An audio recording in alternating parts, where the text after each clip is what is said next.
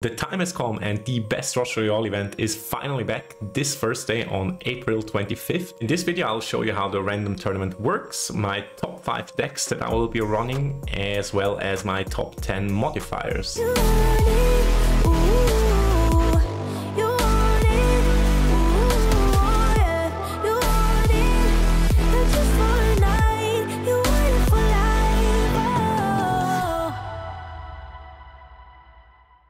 So how does it work? All participants will be playing on equal conditions. The level of all units, heroes and items will be on the exact same level than your opponent, regardless of your account size. And don't be afraid to create a wrong deck, because you will always be able to change up your deck during each battle. Don't worry if you're missing out on some units or heroes, because you will get access to all the heroes and all the units and they will be in the exact same condition as your opponents. When you kill bosses, merge units or perform other actions in battle, you earn combo points that can be spent on special modifiers on the beginning of each wave. choice of the modifiers will be the same for both players and both players have 20 seconds to decide what to go for.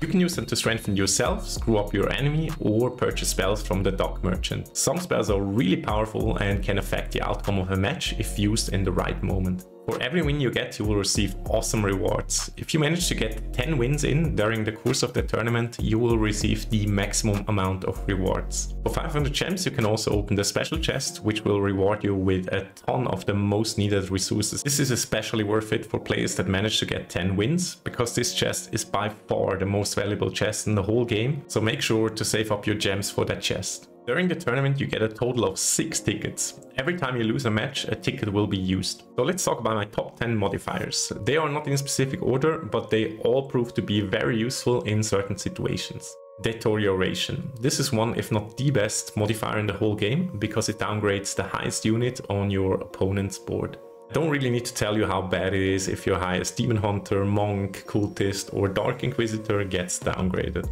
Meteorite Storm. One unit gets completely popped, even through shields, so let's hope it's his highest damage dealer. Hand of Midas. Do you know the moment where you need to fix your board in order to not lose the game immediately?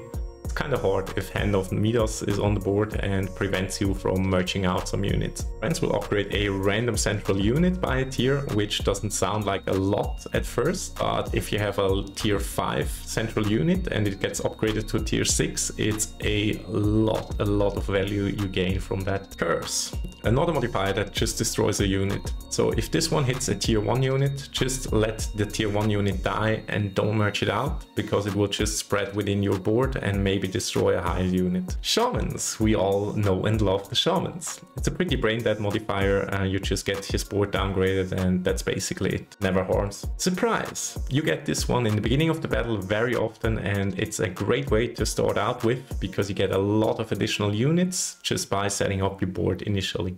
Ice Walk, the number one nightmare modifier for alchemists, trappers and corsairs. Not only it will speed up the wave, it will also destroy traps, bombs and many other things. Very very nice modifier, especially if you play against somebody that relies on its traps. Lionheart. It's very similar to the Shaman, you just basically send a Shaman to the opponent whenever you use your hero ability. Very annoying. Last but not least, the Dark Pact. You sacrifice two hearts in order to gain more mana throughout the whole battle. Usually, whenever you start to lose hearts, the game is over anyway, so you might invest two of them in the very beginning to get the mana advantage, so your enemy loses his three hearts before you lose your last one. What about the top 5 decks? Here we go.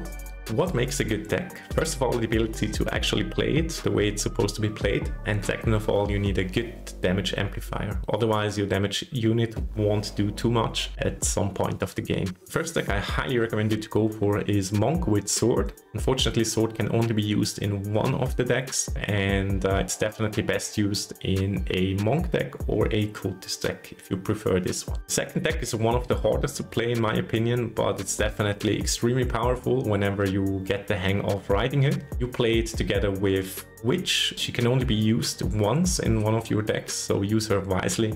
She has an insane synergy with Riding Hood and the Knight Statue. Summoner will give you the extra mana you need for this deck and Dryad will give you the extra control to actually build up the few Riding Hoods next to a statue and next to a witch and will do an absurd amount of damage whenever placed right.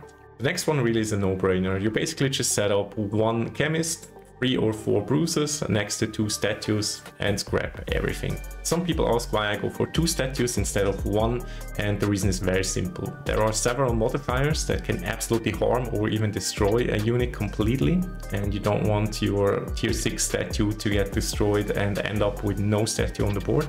Second of all is everybody that played Scrapper and knows how Scrapper works, you will also most likely know the one unit that just never gets up upgraded. And if this one happens to be the statue, you will be in big trouble because a high tier statue is very, very important. So make sure to have two of them on the board to at least get one decent statue if everything else goes wrong. Demon Hunter, one of my favorite units in the game really really cool to play. So basically you just want to get 40 units on the board and get a huge damage buff thanks to achieving this. You have summoner and harlequin to get a ton of mana and you have dryads for the control and you have a decent damage amplifier called Trapper. You can also play it with Chemist, but I can't really recommend because uh, the slow comes in clutch sometimes, the damage amplifier is also higher. It's just very bad whenever somebody has Ice Walk, but in the end you should mostly rely on your Demon Hunters to do an insane amount of damage anyways. Just make sure you reach around 40 uh, Demon Hunters and you should be fine. Here we go, last but not least, the D-Blade Dancer. It used to be a trash unit and everybody that knows me knows how much much I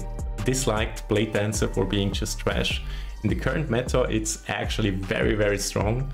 Uh, you can even pay, play it on both sides, uh, left or right side talent. It's it's amazing. It's just more reliable on the left side talent, in my opinion. So you just build up your board with eight blade dancers or seven blade dancers, whatever you prefer. Just make sure you take the right side talent on the statue and um, yeah, you're good to go. Thank you very much for watching. Let me know in the comments what you want to see next. Don't forget to subscribe for more content like this. Check out the better prices in the Rush Royale market and use the code GodlikeMike or just see what else I got. Either way, I wish you a lovely day. See you next time.